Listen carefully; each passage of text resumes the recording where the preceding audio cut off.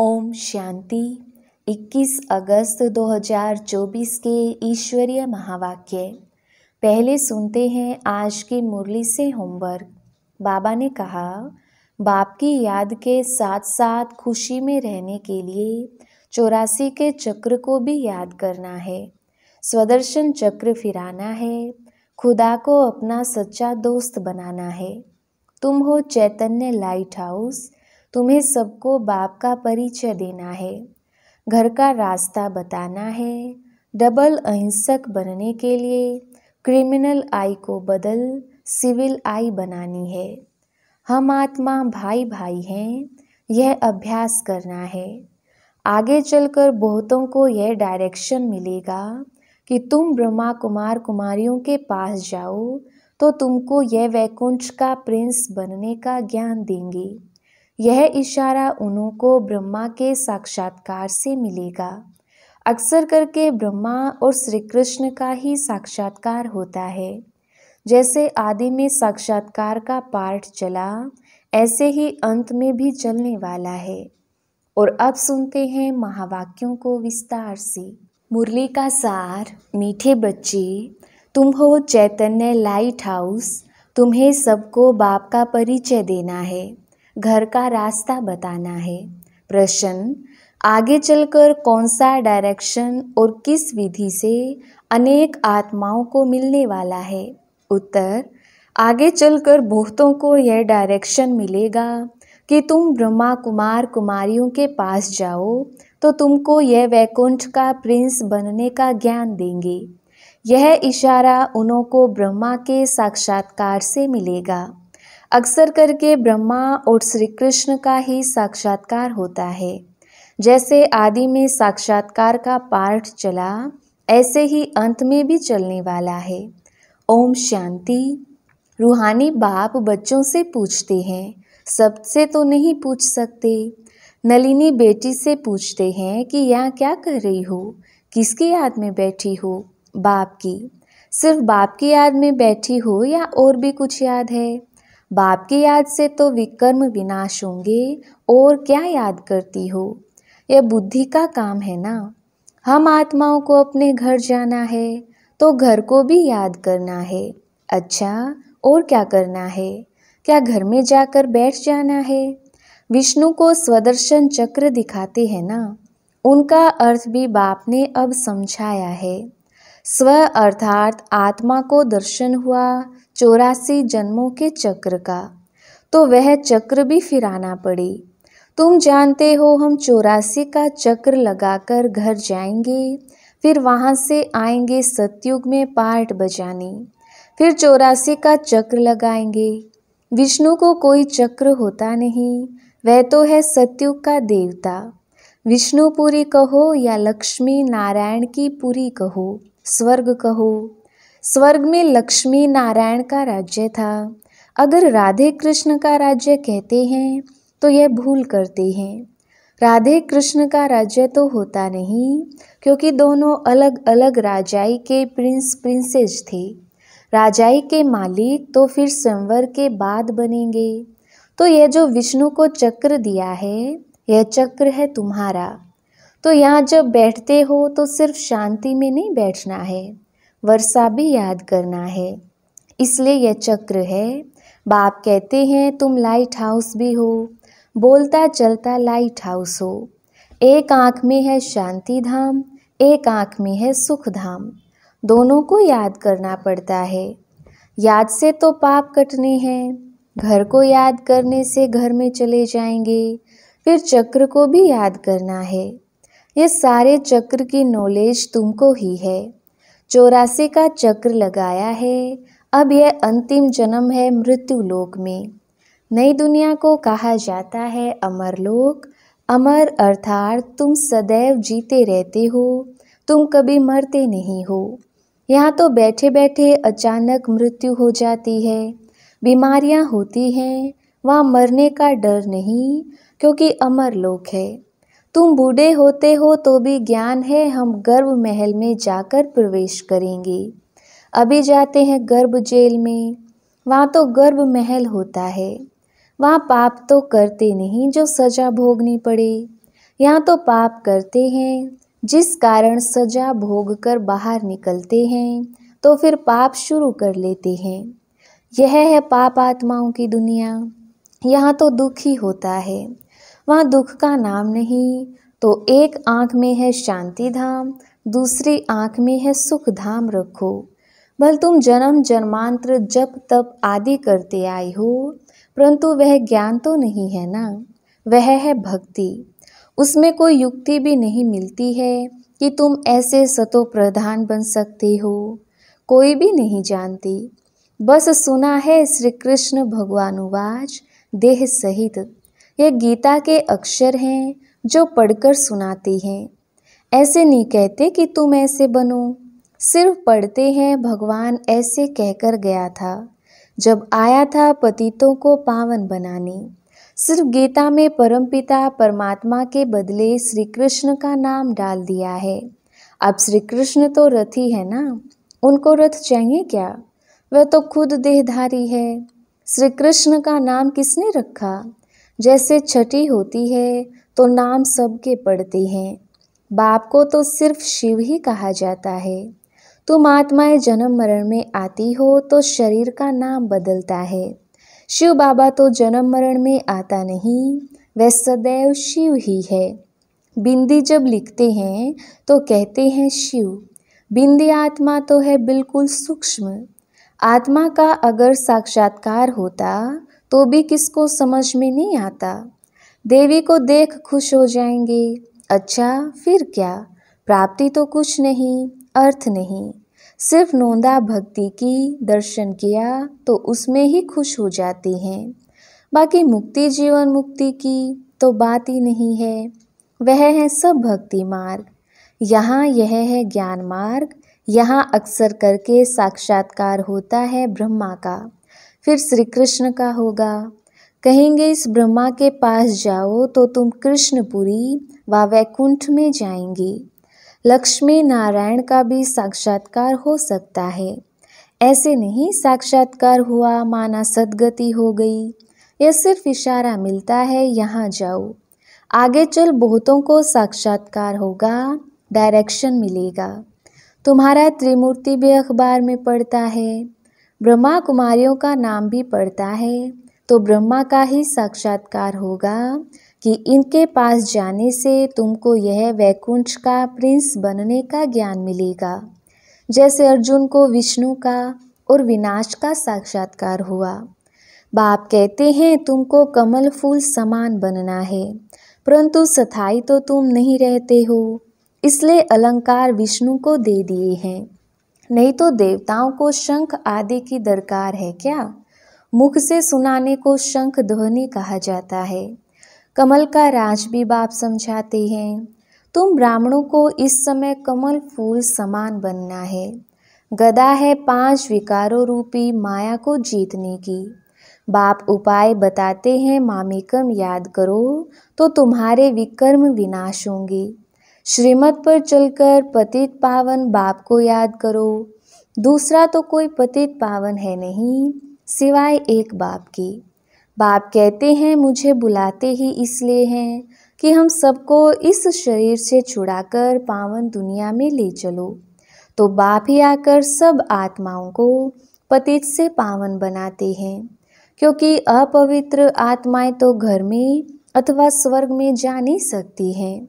बाप कहते हैं, पवित्र बनना है तो मुझे याद करो। याद से ही तुम्हारे पाप कटते जाएँगे। यह मैं गारंटी करता हूँ। बुलाते हैं, हे पतित पावन, आओ। हमको पावन बनाकर नई दुनिया में ले चलो। तो कैसे जाएँगी? कितनी सीधी बात बताते हैं। बाप की सहज नॉलेज और सहज बात है। कहते हैं, कामकाज करते हुए मुझे याद करो। भल नौकरी आदि करो, भोजन बनाओ तो भी याद में रहकर। तो भोजन भी शुद्ध होगा, इसलिए गाया जाता है, ब्रह्मा भोजन के लिए देवताओं को भी दिल होती है। ये बच्चियाँ भी भोग लेकर जाती हैं तो वहाँ महफिल होती है। ब्राह्मणों और देवताओं का मेला लगता है। भोजन स्वीकार करने आते हैं। ब्राह्मण लोग जब भोजन पान करते हैं तो भी मंत्र जपते हैं। ब्रह्मा भोजन की बहुत महिमा है। सन्यासी तो ब्रह्म को ही याद करते हैं। वह है हद के सन्यासी। कहते हैं, हमने घर बार मिलकियत आदि सब छोड़ा है। फिर अभी अंदर घुस पड़ते हैं। तुम्हारा है बेहद का सन्यास। तुम इस पुरानी दुनिया को ही भूल जाते हो। तुमको फिर जाना है नई दुनिया में। घर गृहस्थ में रहते, बुद्धि में यह है कि अब हमको जाना है। सुख धाम वाया शांति धाम शांति धाम को भी याद करना पड़े। बाप को शांति धाम और सुख धाम को याद करते हैं। यह हमारा बहुत जन्मों के अंत का जन्म है। चौरासी जन्म पूरे हुए। सूर्यवंशी से चंद्रवंशी, फिर वैश्य, शूद्रवंशी बने। वे लोग फिर कहते, आत्मा सो परमात्मा। आत्मा को कोई लेप छेप नहीं लगता, क्योंकि आत्मा ही परमात्मा है। बाप कहते हैं, यह भी उन्हों का उल्टा अर्थ है। बाप बैठ, हम सो का अर्थ समझाते हैं। हम आत्मा, परमपिता, परमात्मा की संतान हूँ। पहले पहले हम स्वर्गवासी देवता थे, फिर चंद्रवंशी क्षत्रिय बनी 2500 वर्ष पूरा हुआ, फिर वैश्य, शूद्र वंशी विकारी बने। अब हम ब्राह्मण चोटी बनते हैं। यहाँ बैठे हैं, जैसे कि चौरासी की बाजोली खेलते हैं। ये बाजोली का भी ज्ञान है। आगे तीर्थों पर जाते थे तो भी ऐसे बाजोली करते निशान डालते जाते थे। अभी तुम्हारा तो सच्चा तीर्थ है, शांति धाम और सुख धाम। तुम हो रूहानी पंडे, सबको राय देते हो, बाप को याद करो तो शांति धाम चले जाएँगे। साधु संत आदि सब शांति धाम में जाने के लिए मेहनत करते हैं। परंतु जा कोई भी नहीं सकते। जाएँगे, फिर सारा होल लोट इकट्ठा। बाप ने समझाया है, सतयुग में तो बहुत थोड़े होते हैं। फिर वृद्धि होती जाती है तो तुम हो स्वदर्शन चक्रधारी। देवताएँ नहीं हैं, परंतु इस समय तुम्हारी माया के साथ युद्ध चल रही है। उस लड़ाई में भी जिसको जोरदार समझते हैं तो फिर उनके पास जाकर शरण लेते हैं। अभी तुम किसकी शरण लेते हो? स्त्री पुरुष दोनों कहते हैं, हम शरण पढ़ते हैं तेरी। मेरा तो एक शिव बाबा, दूसरा ना कोई। सब आत्माओं का बाप तो एक है ना? उस एक के तुम बच्चे हो। साधु संत तो एक नहीं है। अनेक भगवान हो जाते हैं। जो घर से रूठे वह भगवान। फिर बड़े बड़े साहूकार करोड़पति जाकर उनके शिष्य बनते हैं और महफिल बनाते हैं, गंदे खान पान की। तमो प्रधान मनुष्य है ना? हिंदुओं को फिर अपने धर्म का ही पता नहीं है। बाप समझाते हैं, तुम तो वास्तव में आदि स्नातन देवी देवता धर्म के हो, परंतु पतित बन गए हो। इसलिए अपने को देवता कहला नहीं सकती। वह धर्म ही प्रायलोप हो गया है। मनुष्य कितनी विकारी क्रिमिनल आई वाले हैं। एक मिनिस्टर बाबा के पास आया था, बोला, हमारी तो क्रिमिनल आई जाती है। अब बाप समझाते हैं बच्चे, सिविल आई बनो। जब तक क्रिमिनल आई जाती है, तब तक तुम पतित हो। अपने को भाई भाई समझो तो वह क्रिमिनल दृष्टि उड़ जाएगी। हम आत्मा भाई भाई हैं, एक बाप से वर्षा ले रहे हैं। आत्मा का तखत यह भ्रुकुटी है, इसको कहा जाता है अकाल तखत। अकाल आत्मा इस तखत पर विराजमान है। यह तो मिट्टी का पुतला है, सारा पार्ट आत्मा में ही भरा हुआ है। बाप कहते हैं, मैं पाँच हज़ार वर्ष के बाद आता हूँ, तुम बच्चों को वर्षा देने। तुम जानते हो हम आए हैं हेल्थ वेल्थ हैप्पीनेस का वर्षा लेने। सत्युग में अथाह धन मिलता है। तुम इक्कीस पीढ़ी देवता बनते हो। बुढ़ापे बिगर कभी कोई मरेगा नहीं। या तो बैठे बैठे अचानक मर पड़ते हैं। गर्भ में अंदर भी मर पड़ते हैं। वहाँ तो दुख का नाम नहीं होता। उनको कहा जाता है सुख धाम राम राज्य। यह है दुख धाम रावण राज्य। सत्युग में तो रावण होता ही नहीं। तो यह चौरासी का चक्र बुद्धि में तुमको याद रहेगा। बहुत खुशी रहेगी। तुम जानते हो हम नए विश्व के, अर्थात सत्युग के मालिक बनने वाले हैं। गीता में भी भगवानुवाच है ना? हे बच्चे, देह सहित देह के सब संबंधों को छोड़ो। अपने को आत्मा समझ मामेकम याद करो। तुम्हारा सच्चा सच्चा खुदा दोस्त वह है। अल्लाह अवल दिन का नाटक, हातम ताई का नाटक सब इस समय के हैं।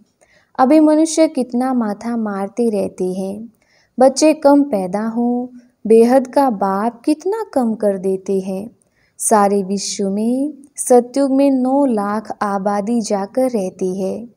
बाकी इतने करोड़ों मनुष्य होते ही नहीं। सब मुक्ति धाम शांति धाम में चले जाएँगे। यही तो करामात की बात है ना? एक देवी देवता धर्म का फाउंडेशन लगाकर बाकी सब विनाश कर देते हैं। यह चौरासी का चक्र अच्छी रीति बुद्धि में बिठाना है। यह है स्वदर्शन चक्र।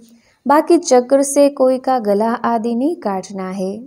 शास्त्रों में फिर श्री कृष्ण के लिए हिंसक बातें लगा दी हैं। सबको स्वदर्शन चक्र से मारा, यह भी गलानी हुई ना। कितना हिंसक बना दिया है। तुम डबल अहिंसक बनती हो।